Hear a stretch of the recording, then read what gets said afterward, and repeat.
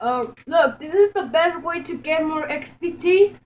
And first, you have to explode um some ores. Oh my no, you have to explode some ores, so um you could get some some um, experience, and then go to the end and kill the Ender Dragon Creative, and then go to this portal right here.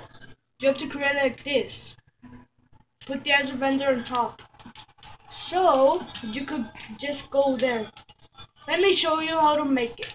Let's just um let's try to find it, try to find it. Try to find it. Let's just get this let's just get this over with. You have to get an end portal frame. Look, You have to do it like this but um in the center of it because Look. then it wanna work. that's And my, put this that's called the- eye of Ender.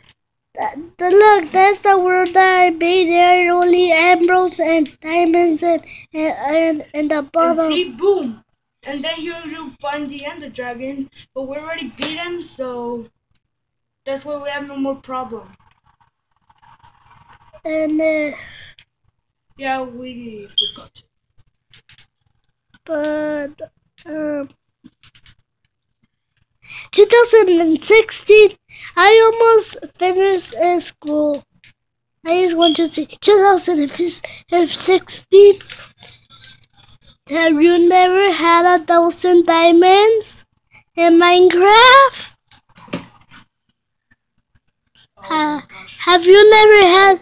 And see, then you have to explode a lot of stuff then, and try this out. And I recommend you doing this, so then you can chant everything. But this is the end of the episode. Bye! Ah!